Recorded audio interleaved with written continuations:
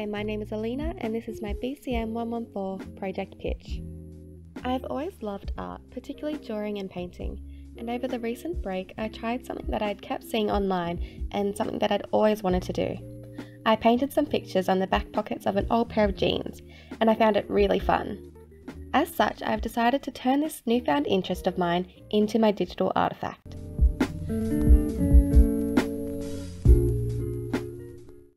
Project is based upon my love of art and explores the growing trend I've noticed online of people customizing and painting jeans and denim. It will involve me finding secondhand clothing pieces and painting different images on them while filming the process and taking some pictures of the end result. Painting images onto the pocket of jeans and the backs of denim jackets is a trend that I have been following for quite a while. It's something that I personally think is pretty cool and fun, and most importantly, it's something that I, I enjoy doing.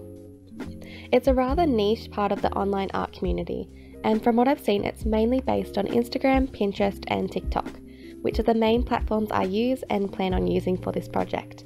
I also realised that it's going to take a little bit of experimenting to understand who my audience is and what they like. I will do this by uploading a mixture of content and seeing what produces the best response and engagement, and by monitoring feedback in the form of likes and comments. This project also has the possibility for monetization, as if my denim pieces turn out alright, I plan on selling them online via Etsy, Carousell and or Depop. I realise that this project doesn't particularly meet the FIST guidelines and relies on me finding time and motivation to paint pieces, film the process, and take photos. Regardless, painting helps me de stress, and this is something that I know I will enjoy doing.